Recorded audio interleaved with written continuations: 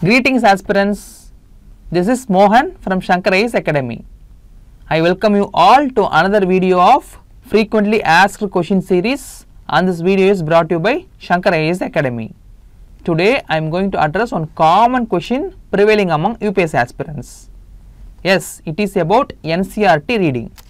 See, many aspirants have a big question.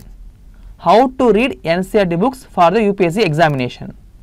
So, in this video, I am going to give you a clarity regarding NCERT reading.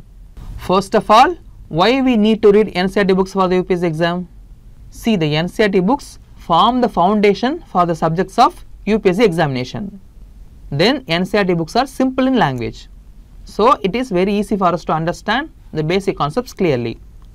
Also, the content in the NCERT books are highly reliable for our UPSC exam. That's why we need to read NCERT books. Now, coming to the next question. Do we need to read all the NCERT books? The answer is big no. It is enough to read only the subjects that are relevant to UPSC exam. Now, I am going to display the names of NCERT books along with standards and you must read those books for the UPSC exam. See the books list are displayed here and the books here are segregated into subject wise. Pause the video and make note of it. This is my personal suggestion and some of you may think many books are left out. See as per my experience these books are more than enough to have stronghold over the basic concepts for UPSC exam.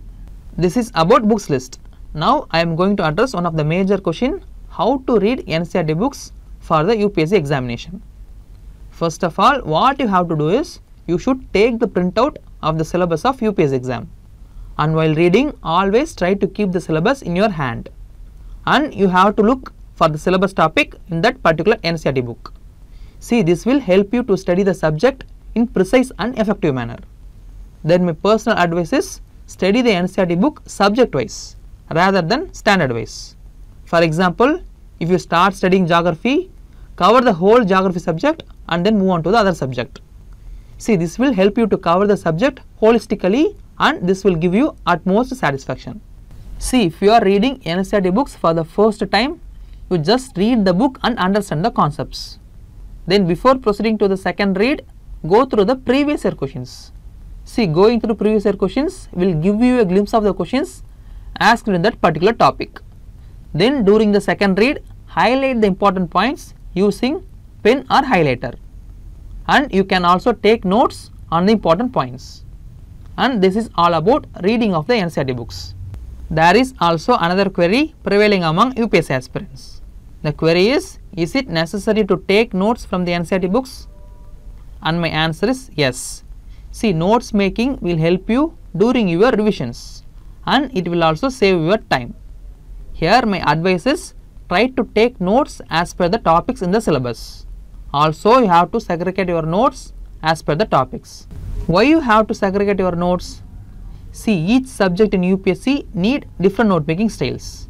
For example, in geography notes we need to incorporate mnemonics to remember the places.